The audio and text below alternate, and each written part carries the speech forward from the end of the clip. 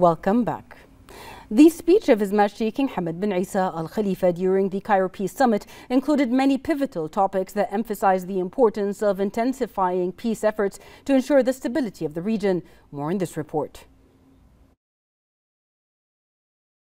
In light of the tense regional and international conditions due to the war in Palestine, the Kingdom of Bahrain stood firm on its principles, adhering to all its noble values, calling for peace, justice, and humanity, in a speech delivered by His Majesty King Hamad bin Isa Al Khalifa, during which His Majesty conveyed the sentiments and positions of the Bahraini leadership, government, and people towards the Palestinians. His Majesty the King's praise of Egypt's positions in supporting peace efforts emphasized the Bahraini Egyptian consensus that supports and seeks peace and stability, especially with regard to the legitimate rights of the brotherly Palestinian people.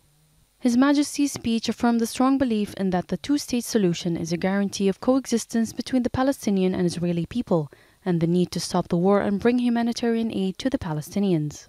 The peace approach is a strategic choice for the foreign policy of Bahrain, an approach that paves the way for more Arab and international efforts to enhance security and stability in the region in a clear affirmation by His Majesty to the leaders of the participating countries on the importance of achieving and maintaining peace for many Arab and international political, security, and social projects. The Kingdom of Bahrain, with its firm Arab positions, demonstrates its adherence to its just causes and the effective and influential role of Arab and international consensus in enhancing dialogue for peace and coexistence in an effort to achieve a more stable, secure, and peaceful reality. The chairman of the Shura Council, Ali Saleh, presided over the council's weekly session. The chairman delivered a speech regarding current uh, the regional and international events in which he stressed Bahrain's support of just and comprehensive peace efforts in the region, which is what His Majesty the King expressed in his speech during the Cairo Peace Summit, which reflected Bahrain's approach, which always calls for peace and dialogue. He praised the Bahraini National Campaign for Gaza Relief, which was launched in implementation of the royal directives within within the framework of the keenness to continue carrying out the humanitarian duty towards the brotherly Palestinian people. The Council discussed the Services Committee's report regarding a draft law adding a new article to Decree Law 78 of the year 2006 on unemployment insurance. The Minister of Municipalities Affairs and Agriculture, Engineer Wael Mubarak, and the Minister of Works, Engineer Ibrahim Al Hawaj, visited His Majesty the King's Food Security Project in Hurat Ali to inspect the project's latest developments and to continue coordinating efforts with relevant authorities and achieve food security.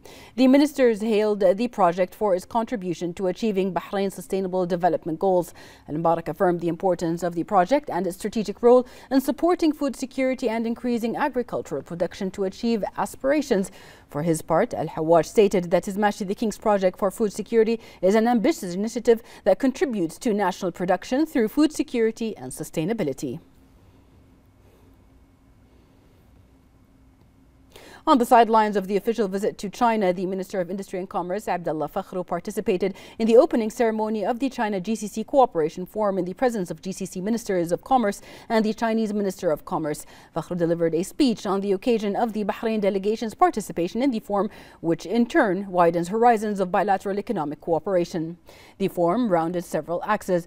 The first uh, sub-forum discussed green development and digital economy, while the second discussed industrial investment and financial cooperation with the aim of uncovering the consensus of the China GCC summit for the year 2022 and exploring new directions and opportunities for cooperation in related fields.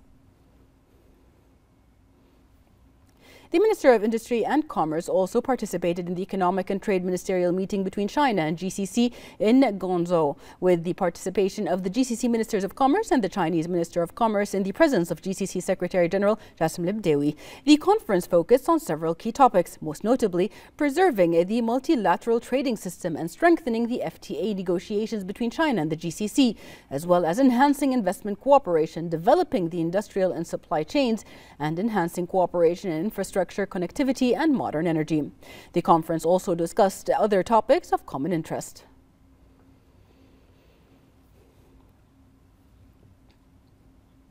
The Minister of Industry and Commerce held a meeting with the Chinese counterpart Wang Wentao, where they discussed a number of topics related to enhancing bilateral trade and expanding investment opportunities. Minister Fakhro hailed the development of relations between Bahrain and China, affirming the importance of consolidating aspects of bilateral cooperation to serve the interests of both countries and their people. The minister praised Bahraini-Chinese cooperation in the commercial sector, noting the role of mutual visits and meetings in advancing relations and highlighting available opportunities of commercial and industrial cooperation. For his part, the Chinese minister affirmed the keenness to develop aspects of cooperation, especially in the commercial sector with Bahrain, and to build on mutual understanding and coordination between the two countries to achieve common aspirations.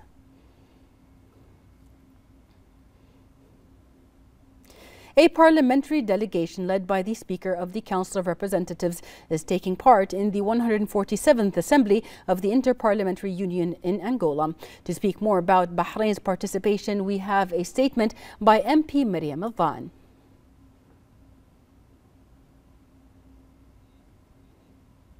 Parliaments in all countries given their role and importance in establishing peace and security in general, whether throughout legislations, laws, or initiatives, or throughout parliamentary diplomacy and cooperation with regional and international counterparts. As we see today, the current situation in the region in Palestine requires that we all parliaments and parliamentarians should intensify our efforts and cooperate in a complementary manner to push for ceasing fire and violence. We are all here today looking forward for the IPU playing its role and expressing its views on this humanitarian issue impartially. The Director General of Traffic, Brigadier Sheikh Abd Rahman bin Abdul Wahab Al Khalifa, affirmed that more than 36,000 students from public and private schools and kindergartens benefited from awareness projects during two academic years in cooperation and coordination with the Ministry of Education. He stated that the Directorate resumed awareness projects for students in schools and kindergartens, which include a number of educational lectures that enhance traffic safety and achieve awareness among them. He thanked the cooperation of parents, the Ministry of Education, the community police, security officers, and all partners from the public and private sectors, and all who contributed to making children's safety a priority.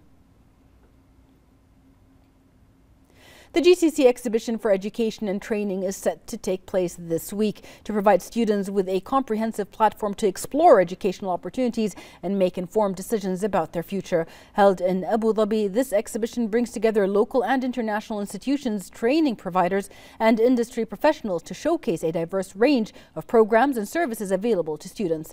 And to speak more about that, we have with us uh, the chairwoman of the organizing committee of the GCC exhibition for education and training, Sheikh Noura Al Khalifa. Hello, Sheikh Noura. Can you please tell us about the upcoming GCC exhibition for training and education and what it aims to achieve? Actually, we're very excited to announce the second editions of the exhibitions, which we bring universities from all around the world in one roof, and we bring universities and students globally as delegations. And we're very happy to announce that we have delegations coming from Bahrain to Abu Dhabi to see different uh, exhibitors from all around the world. And uh, we're very happy to uh, to partner with Ministry of Education and Emirates Foundation School of Education and Abu Dhabi Conventions and Exhibitions Office for their support and academic uh, guidance for all the students from all around the world. As well as we are very happy to uh, mention that uh, the uh, president of the United Arab Emirates University, uh, His Excellency Zaki Anwar Nusseibeh, is supporting us on this initiative. Can you also tell us a little bit more about the participation of the Bahraini delegation in the event to reflect the pioneering Bahraini experience in the educational and training sectors? The concept of bringing different delegations from all around the world and Bahrain specific is to help them and guide them to see other experience from all around the world uh, in terms of uh, a different experience, a student exchange, and academic uh, uh, career path, and whatever we provide in terms of seminars and conferences along with the exhibition as well. That's great. Thank you very much. That was the chairwoman of the organizing committee of the GCC exhibition for education and training, Sheikh Noura Al Khalifa. Thank you.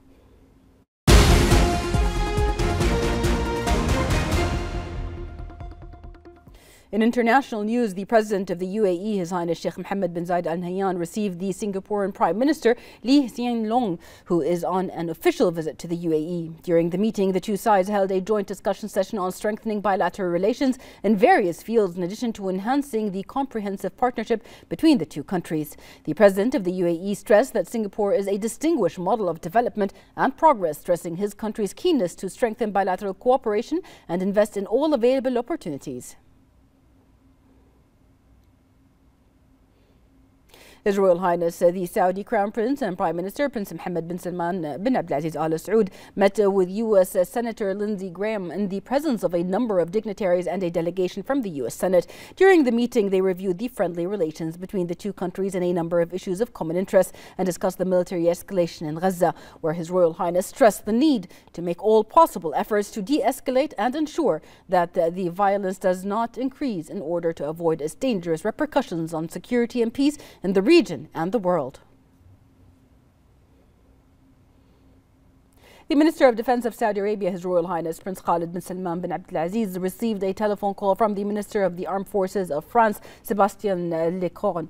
During the call, they reviewed the bilateral relations and the existing cooperation in the defense fields and discussed joint coordination regarding issues and developments in the region and efforts aimed at calming the situation there, in addition to discussing the latest developments in Gaza and surroundings.